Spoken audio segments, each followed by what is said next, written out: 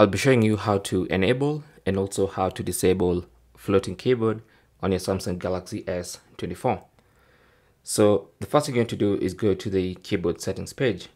You can either tap the settings icon on the keyboard or you can go into settings and then go to general management, tap on that and then go to Samsung keyboard settings, tap on that and then look for mode and tap on that.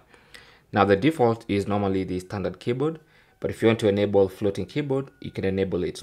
Now this is for portrait view. If you also want to enable it in landscape view, you can just select that as well. Now once you do that, anytime you're on the keyboard,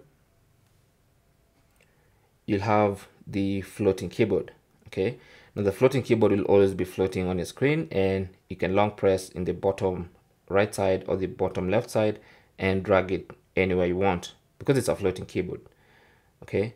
Now that's basically how to enable the floating keyboard. Now if you want to change the size of the floating keyboard you might have to go back to the main settings page.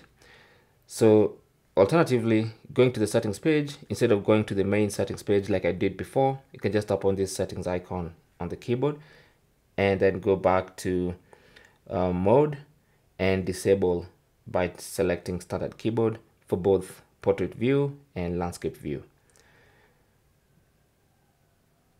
If you want to change the size of that floating keyboard, when you have it enabled like this, you can go back one step and just below mode, you should see size and transparency.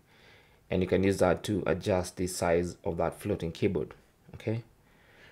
Thanks for watching. Comments and questions down below and good luck.